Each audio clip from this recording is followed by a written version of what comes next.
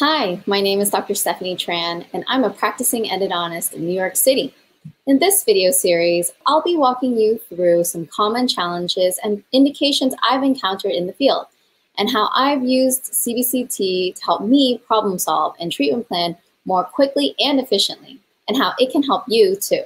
In this video, we're going to be discussing how I use CBCT to diagnose and treatment plan when it comes to evaluating teeth that have cracks and vertical root fractures.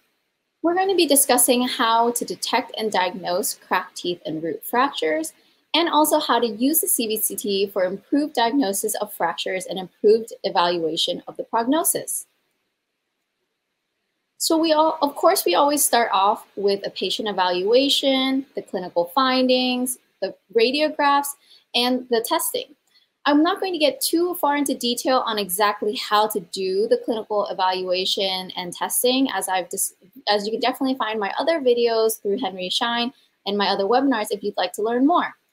But putting together what we know when we're doing the patient's clinical findings and sensibility testing as well as the patient evaluation, we of course want to pay special attention to the radiographs and the CBCT when we're evaluating for the possibility of vertical root fractures and cracks. So when we first start off with the radiographs, we'd like to take definitely at least one PA, sometimes a second, and sometimes a bite wing if we want to evaluate specifically for restorations and bone loss.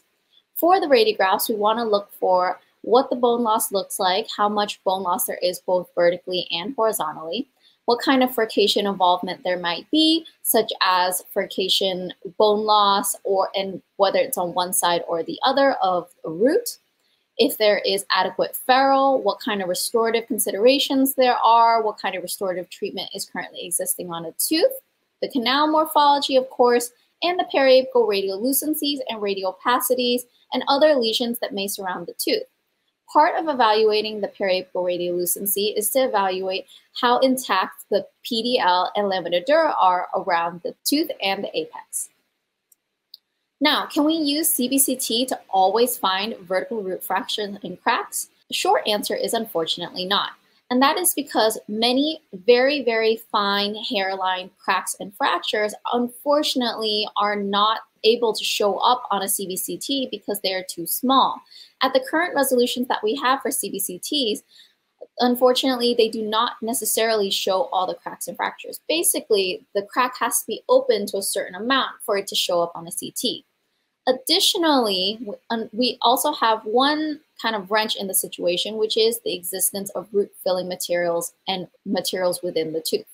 Because the materials within a tooth are radio opaque, they unfortunately cause what we call a beam hardening artifact. What that means is that it can cause these little striations that we see around the radio opaque material that kind of look like black and white striations around the tooth.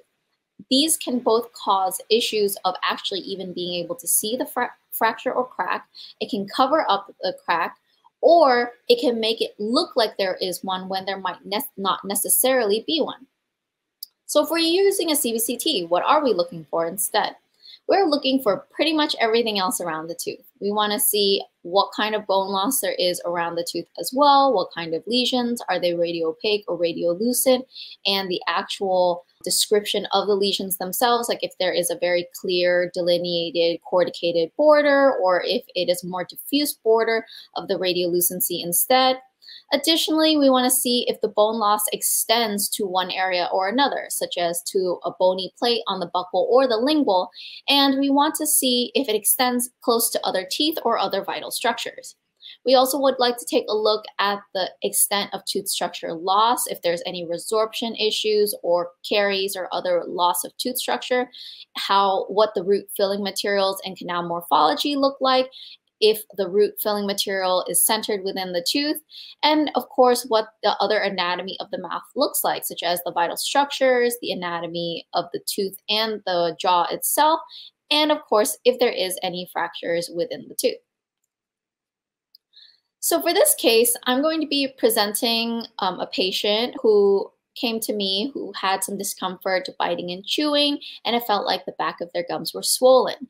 When I evaluate this case, you'll see how it can be related to diagnosing and evaluating for the prognosis of a vertical root fracture or crack. So in this case, this patient presented with the discomfort. They reported they had a root canal done many years ago. Now they did have a single deep probing depth on the palatal. However, no large deep pockets, no severe swelling, um, a little bit of gingival inflammation at that palatal root, but not like localized or fluctuant swelling. We can see from the 2D radiograph that we have an existing root canal filling material, but oddly enough, no root filling material in the mesiobuccal root. We don't see a really, really obvious periapical radiolucency we can see that maybe there may be some radiolucency around that mesial buccal, possibly around the palatal, but it's very diffuse and not really, really clear on the 2D radiograph. Additionally, we can see that the root canal looks fairly normal for the other canals, but of course missing in that mesial buccal, and that there might be a little bit of bone loss on the distal as a vertical bone loss, but again, nothing super severe. Now, in this case, for this patient, I recommended taking a CBCT because I wanted to evaluate several things. I first wanted to evaluate if the root filling material was the proper shape and size and whether it was centered, like if there were any issues with the root canal itself, because we can't always see those things on the 2D radiographs.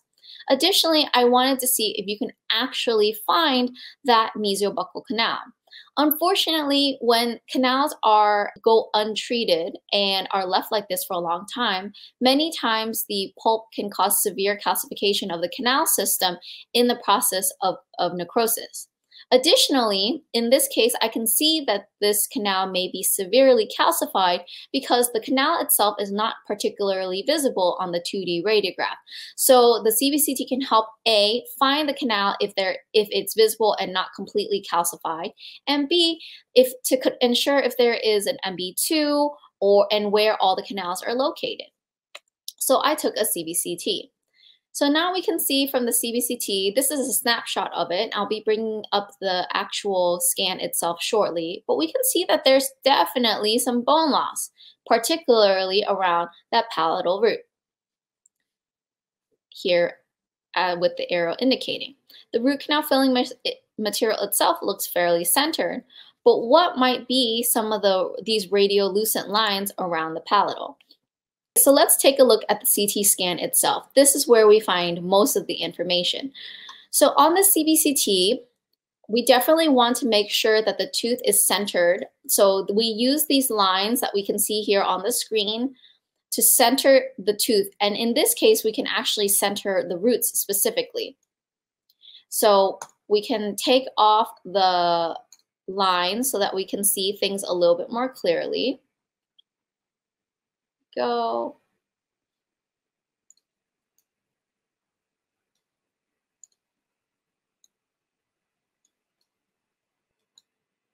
And when we center on that root, so here's the palatal root. So here we can see that bone loss associated with it earlier that we were discussing. And now we can start to scan through all the slices. So in the bottom portion here, we can definitely see that there are some concerns with the palatal root. We always want to set the thickness of the slices to as small as possible because we want as high of a resolution as possible. We then take a look at, again, that tooth right there, and we can see that right here. So we can see several findings of the palatal root here in these images. We can see severe bone loss completely encompassing the palatal root, especially here on the buccal portion of the palatal root. Additionally, we can see that bone loss extending all the way up the palatal onto the palatal side to that palatal alveolar ridge, which explains the deep probing depth that we had earlier. We can also see the bone loss associated with this palatal root is quite severe around here. Next to this tooth is an implant.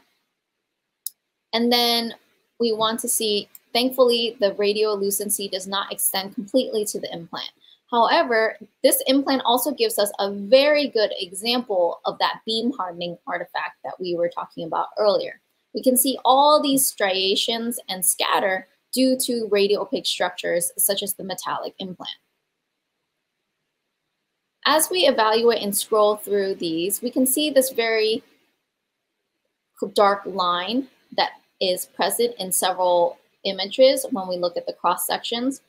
Um, so we can see here that dark line there and that dark line again here.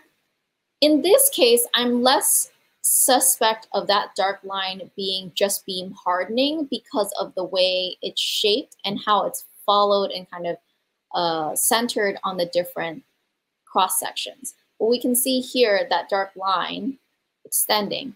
Now, the root canal filling material itself doesn't seem to have any particular issues. It's centered, it's at the adequate length, it's right to the apex, and same with the distal buccal. In this case, the reason why now I was definitely suspecting a fracture on this tooth is because of the severe bone loss on both sides of the palatal root in that mid-root area, and most importantly, due to all these little dark lines associated with that palatal root. And that severe bone loss basically encompassing that entire palatal root on multiple sides is not a very good sign, unfortunately, for the tooth. In terms of the mesial buccal, as we were discussing earlier, and what we might be looking for there, we can then center the mesial buccal root in the scan again, because keep in mind, the difference when we're evaluating for endodontic CBCTs versus like surgery evaluation of CBCTs is that in endodontics, we're actually looking at very singularly and very targeted specifically at the tooth itself. And many times in order to have a very centered look at the tooth, it actually requires evaluating, evaluating each root individually.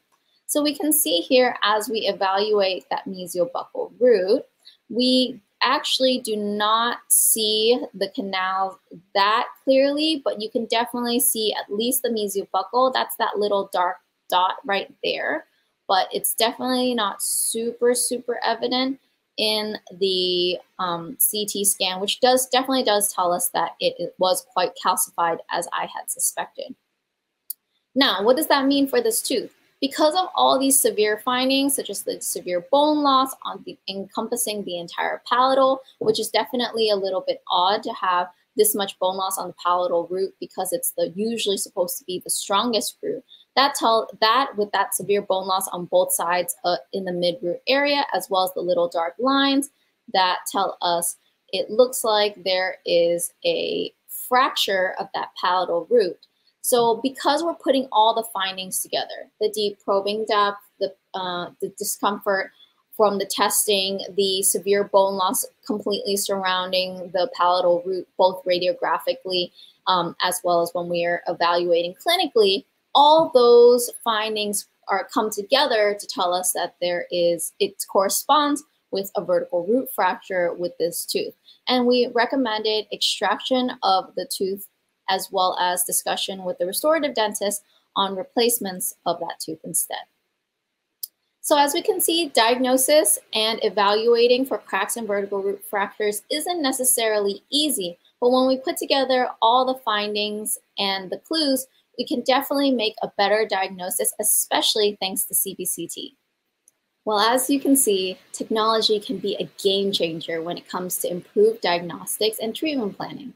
And I hope this video can provided some useful tips and techniques that you can start implementing in your practice today. If you found this content useful, don't forget to hit the subscribe button and the bell icon to be alerted of all future videos. Thank you.